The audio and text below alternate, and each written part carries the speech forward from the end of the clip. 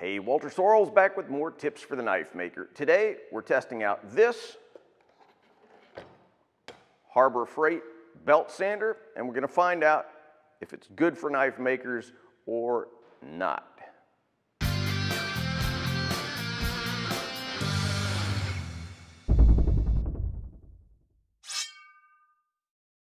So lately I've been giving a lot of thought to, you know, kind of the glide path that somebody who just wants to get into knife making has to go through to get to a point where they can be making pretty good knives.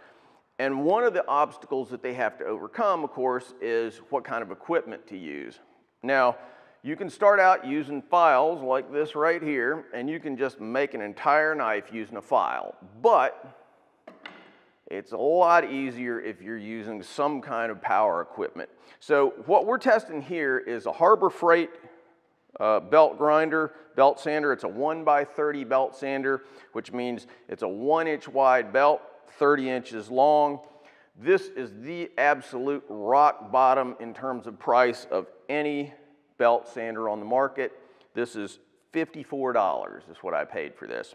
So um, is this adequate for a knife maker if you're just getting started? I can tell you for a fact, before we do any testing whatsoever, I've got thousands and thousands of dollars worth of professional belt grinding equipment out there. It's better than this. But that's not the question. The question is, is this suitable for somebody who's just trying to get their feet wet as a knife maker? All right, let's go test it out and find out. The model I'm reviewing here is the Central Machinery 1x30 belt sander. Central Machinery being the house brand of the budget tool chain Harbor Freight. Let's grab it, put it together, check out the features, and then put it through its paces. Now, before we do that, let's be real here. This is sold as a light-duty sander. The kind of thing you'd use for woodworking or for grinding the occasional metal goody, little crafty type jobs, but it's not a heavy duty piece of machinery. It's not sold that way.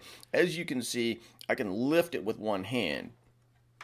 I paid 54 bucks for it. I think it's 59 on the website right now, putting it at quite a bit lower price point than a lot of tools. In fact, you know, pretty close to a lot of just normal hand tools. Now I gotta mention that I bought this with my own money. This wasn't a freebie. I'm not getting compensated. I'm not getting affiliate money or any of that. I don't know, maybe someday I will, but I'm not at this moment.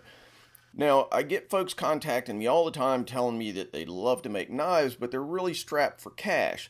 And the belt grinder is often the thing that holds them up. You turn on YouTube, you see guys like me using professional belt grinders, you look them up, and there's thousands and thousands of dollars. And everybody just doesn't have that kind of scratch. Everybody can't pull $3,000 out of the couch cushions. So the first place they look is this kind of belt grinder. So we're going to find out whether it's worth looking at at all. Just a little terminology thing. This is sold as a sander you know, what's the difference between a belt grinder and a belt sander? In essence, nothing. Something that is billed as a sander tends to be sold more to woodworking markets and craft markets, whereas things that are billed as grinders tend to be sold more to metalworking audience. But there's nothing intrinsically different about them. The machine comes with one belt, a work table, and a few bits of hardware to secure the work table to the machine. If I were the kind of guy who actually read the directions, I might have saved five minutes assembling this thing, but you know, I needed my man card punched, so I just jumped right in.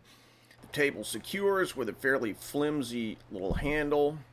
You know, a nice heavy arm like this can be found from machinery suppliers for about the price of this whole rig. So, yeah, it's about what you'd expect. If you want to adjust the angle of the table, you can do so. I will say, I feel like if you adjusted this very often, you'd eventually strip some threads or tear up this handle and the whole thing would be broken. You know, that's the kind of machine we're dealing with.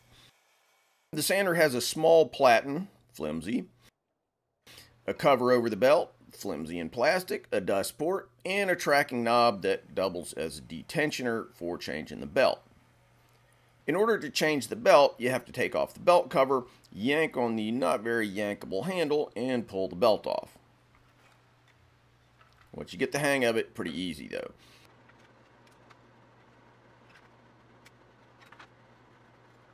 The motor is rated at a quarter horsepower.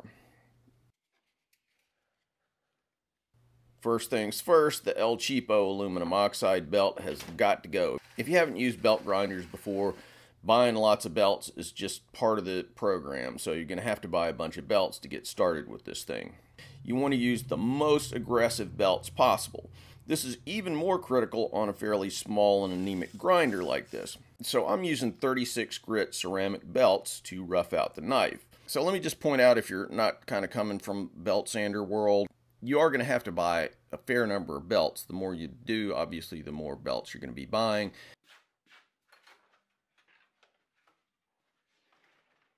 Typically aluminum oxide 1 by 30 belts are going to be kind of in the dollar to two dollar range whereas the good quality ceramics maybe going to be in the three to four to five dollar range.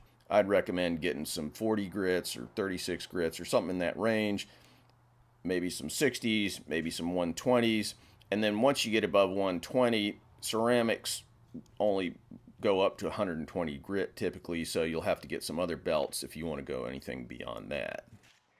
Hey guys, let me just jump in and say that if you've been following my channel all these years and want to help out the channel, uh, there's a way to do it. It's called Patreon.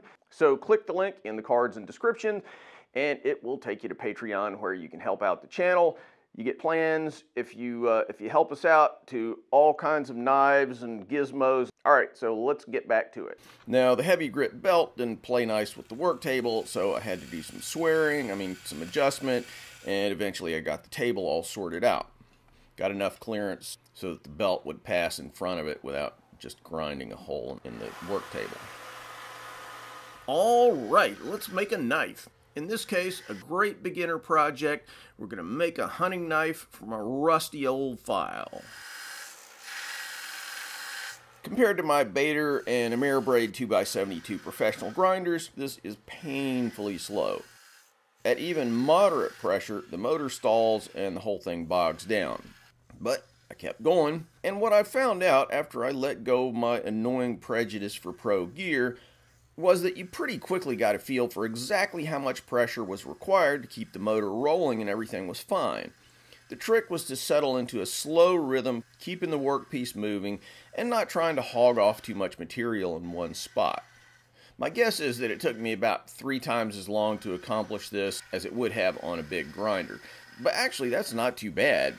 The motor never overheated, nothing came loose, fell off the machine. After a while, I had a knife looking thing in my hands gotta say, felt kind of satisfying. So now we've profiled the whole thing, gotten rid of all the excess material. Without changing belts, and that's actually kind of important, I moved to grinding the bevels.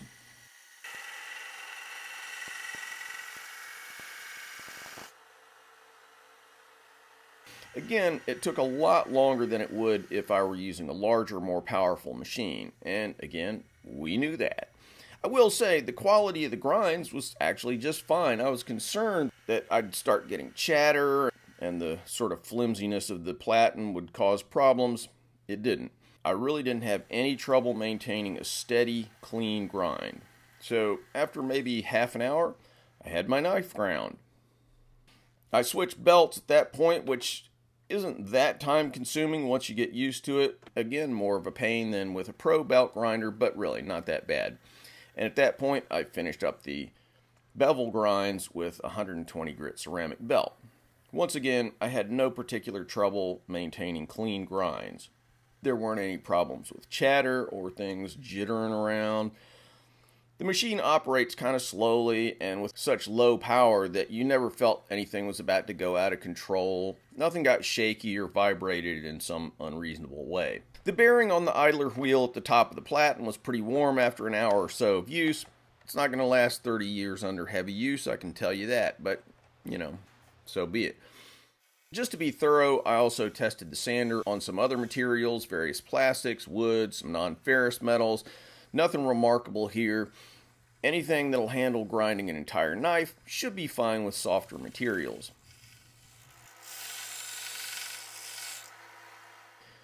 So one thing that surprised me was that I was able to grind the entire knife with one of these tiny little 1 by 30 belts.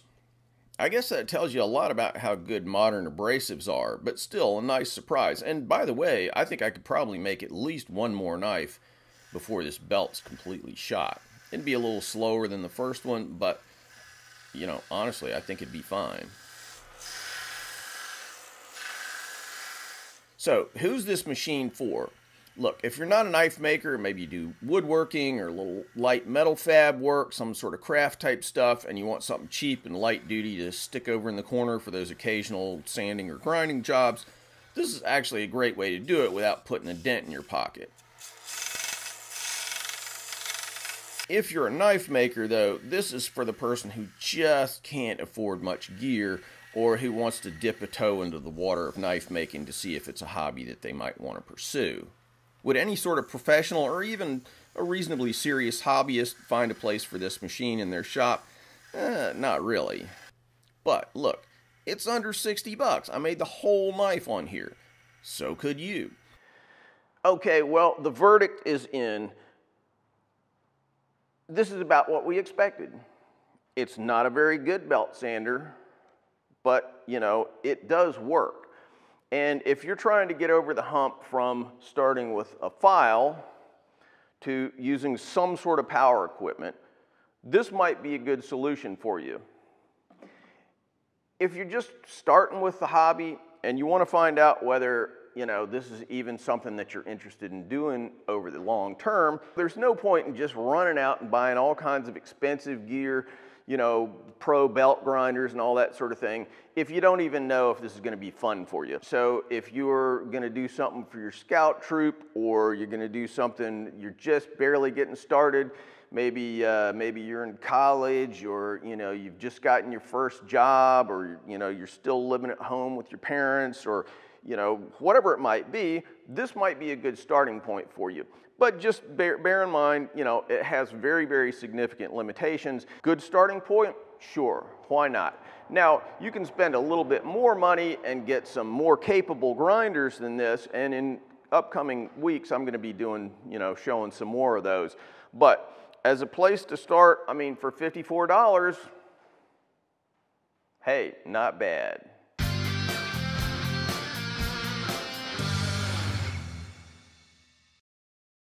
Thanks for watching, guys. If you like what we're doing here, please subscribe and make sure that you click on that bell so you get notified of all the latest videos. Want to buy a knife from me? Check out my modern blades at tactixarmory.com. Digging the channel? You can support our video making efforts on Patreon. You know, I've been banging away on these videos for like 10 years, so I hope you'll show some love for all that hard work. Link in the cards and descriptions. Finally, if you're interested in making Japanese swords, check out my full line of Japanese sword videos where I show how to forge Japanese swords as well as how to polish them and how to make fittings, handles, and scabbards. WalterSorrellsBlades.com